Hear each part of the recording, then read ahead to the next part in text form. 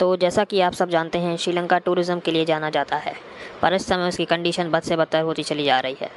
आज़ादी के बाद से श्रीलंका के लिए ये सबसे कठिन दौर है। पेट्रोल, डीजल से लेकर दूध और अदर फ़ूड आइटम्स तक हर ज़रूरी चीज़ इतनी महँगी हो गई है कि लोग उसे ख़रीद नहीं पा रहे हैं। हालात ऐसे हो गए हैं कि देश में इमरजेंसी लगा दी गई है और प्रेसिडेंट गोटाबाया राजापक्षा देश छोड़कर भाग गए हैं। लेकिन किन कारणों से श्रीलंका इस इकोनॉमिक क्राइसिस की ओर मोड़ा, इस वीडियो में जानेंगे हम। नमस्कार, मेरा नाम गौतम और आपका स्वागत है जियो पॉलिटिक्स में।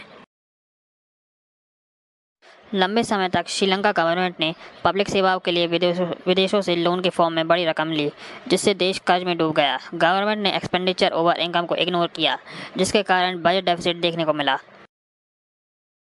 श्रीलंका के कंडीशन में टूरिज़्म एक बहुत बड़ा फैक्टर है। अप्रैल 2019 में कोलंबो की बॉम्बिंग में दो सौ तिरपन लोगों की मौत होने के बाद से टूरिस्ट इस जगह पर जाने से हेजिटेट करते हैं। इससे श्रीलंका के फॉरेन एक्सचेंज रिज़र्व पर असर पड़ा। ऐसे में टूरिस्ट इंडस्ट्री डिस्ट्रॉय हो गई, जो कि देश की 10 परसेंट का हिस्सा है। फिर कोविड नाइन्टीन के कारण टूरिज़्म पूरी तरह से ठप हो गया।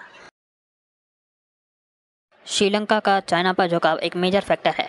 चाइना की स्ट्रेटजी ऐसी है कि जिन देशों में वो इन्वेस्टमेंट बढ़ाता है, वहाँ पॉलिटिकल और इकोनॉमिक इंस्टेबिलिटी तेज़ी से बढ़ती है। पाकिस्तान इसका एक प्रमुख एग्ज़ाम्पल है। उनकी इकोनॉमिक हालत अभी ठीक नहीं है।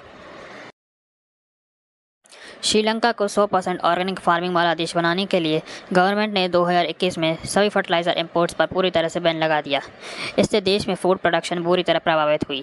बढ़ते फ़ूड प्राइस की कीमतों फॉरेन एक्सचेंज रिज़र्व में तेज़ी से गिरावट और करेंसी डेप्रिसिएशन को कंट्रोल करने के लिए श्रीलंका के प्रेसिडेंट ने इकोनॉमिक इमरजेंसी की अनाउंसमेंट की। इस स्टेप से इकनॉमी पर और बुरा असर पड़ा।